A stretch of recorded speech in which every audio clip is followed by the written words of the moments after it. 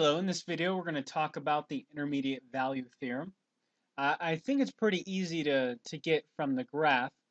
Uh, notice that I have, here's my function f of x, and it's defined from a to b, and I have these closed dots here. So here's basically what the intermediate value theorem says.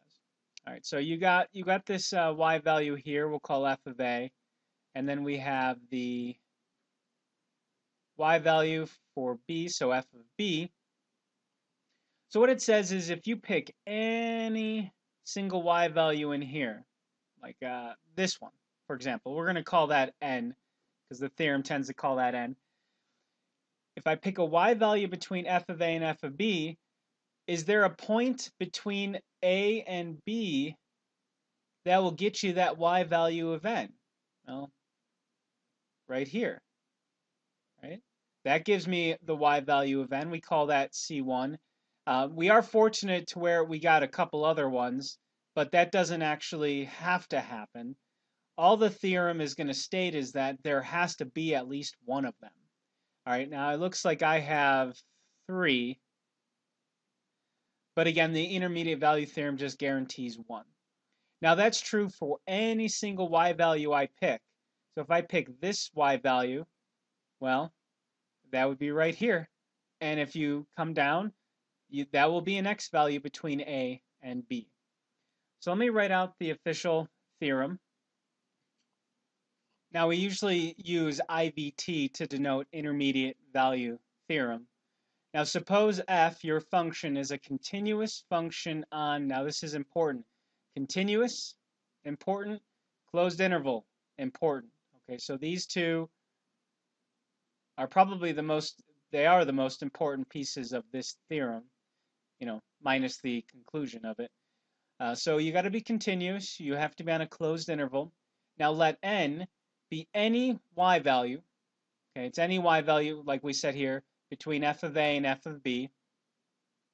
So any real number between f of a and f of b, where f of a does not equal f of b. Notice that that y value does not equal this y value, then the conclusion of the theorem states there exists a c, okay, some x value in between a and b such that that, that x value, right, will give you the y value of n that you were looking for. All right, so again, if you came up here and you wanted this y value, then you see that your function is continuous, it's on a closed interval, so the statement of the theorem guarantees us, or the conclusion of the theorem guarantees us this x value right here that gives me the y value of n. Okay, so here's a quick example. I graphed x squared plus 1 from 1, right, from 1 to 3. Now, f of x, or x squared plus 1, is continuous. It is a polynomial. Polynomials are continuous over their domain. So it's continuous on, so if it's continuous over its domain, it's continuous over, you know, this little interval here from 1 to 3. It's also closed, so I do have, you know, these closed dots here. So IVT, okay, guarantees us like the following. So say I pick a y value, so 2, 3, 4, 5. So I pick the y value of 6. IVT then guarantees me an x value between 1 and 3 that will give me the y value of 6. And I think it's pretty easy to see. If you come over here, there's where I have a y value of 6, and you can see the corresponding x value is right there, which we'll call c.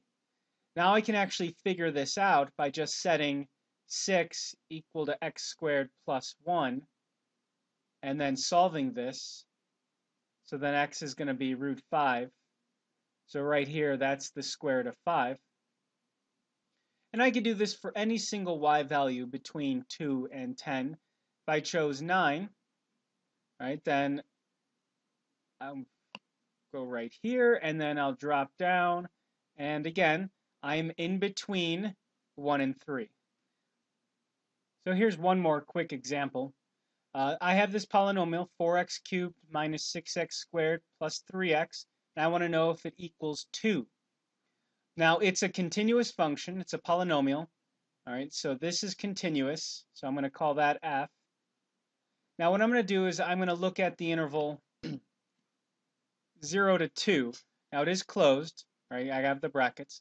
So what I'm going to do is I'm just going to go ahead and I'm going to plug in. All right, think of this as A and this is B.